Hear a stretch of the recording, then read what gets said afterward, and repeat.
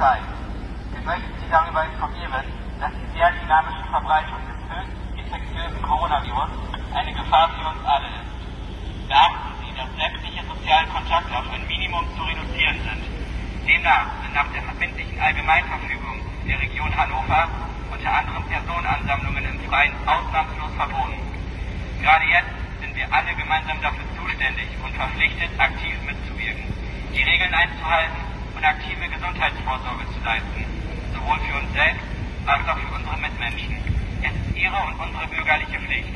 Schränken Sie Ihre sozialen Kontakte also auf ein Minimum ein. Ihre Polizei.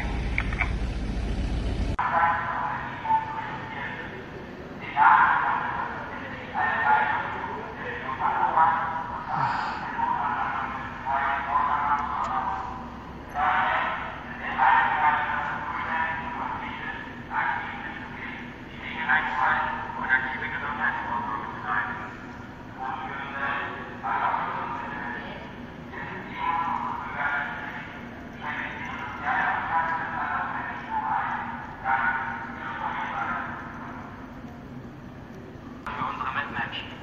Es ist Ihre unsere bürgerliche Pflicht. Schränken Sie Ihre sozialen